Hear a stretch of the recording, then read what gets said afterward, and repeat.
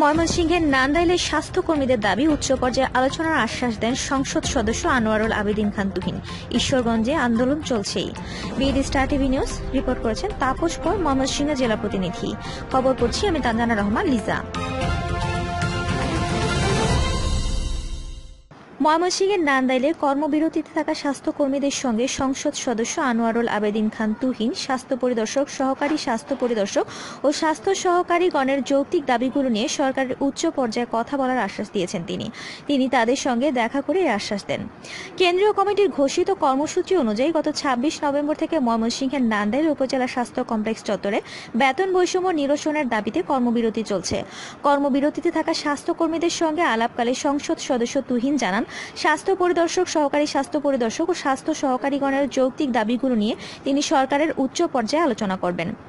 এ সময় উপস্থিত ছিলেন নান্দাইল উপজেলা পরিষদ চেয়ারম্যান হাসান মাহমুদ জুয়েল, উপজেলা নির্বাহী অফিসার মোহাম্মদ এরশাদ উদ্দিন, পৌর মেয়র মোহাম্মদ রফিক উদ্দিন ভুইয়া, উপজেলা স্বাস্থ্য কর্মকর্তা মামুনুর রশিদ প্রমুখ। অপরদিকে প্রশাসনের কোনো আশ্বাস না পেয়ে আন্দোলন চালিয়ে যাচ্ছে স্বাস্থ্য পরিদর্শক, সহকারী স্বাস্থ্য পরিদর্শক ও স্বাস্থ্য সহকারীগণ। তাদের এই আন্দোলনের জন্য শিশুদের টিকাদান সহ ব্যাপকভাবে চিকিৎসা সেবা ব্যাহত হচ্ছে। অসুস্থ রোগীরা পড়েছে বিপাকে। বুধবার চোদ্দতম দিনের মতোই আন্দোলন চলছে।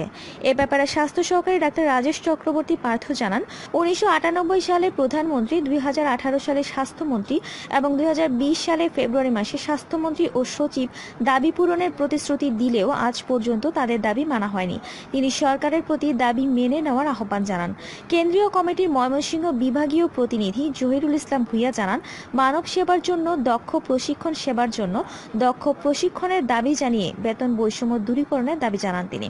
এ ব্যাপারে উপজেলা হেলথ অ্যাসিস্ট্যান্ট অ্যাসোসিয়েশনের সভাপতি A K M Anisur, Razzak Bhuiyan Khokon, সাধারণ সম্পাদক নজরুল ইসলাম ও দাবি বাস্তবায়ন কমিটির উপজেলা শাখার যুগ্ম আহ্বায়ক ইফতেকার আলম খান রনি জানান, তাদের ন্যায্য দাবি না মানা পর্যন্ত তাদের এই আন্দোলন অব্যাহত থাকবে। আমরা কোনো কাজে যাব না কেন্দ্রীয় নির্দেশ ছাড়া। যদি আমাদের কেন্দ্রীয় নির্দেশ আসে, এখন থেকে দশ মিনিটের মধ্যে আমরা দশ মিনিট না, আমরা মিনিটের মাথায় মাঠ থেকে ফিল্ডে চলে যাব। এটাই আমাদের চূড়ান্ত সিদ্ধান্ত। কি বলেন আপনারা?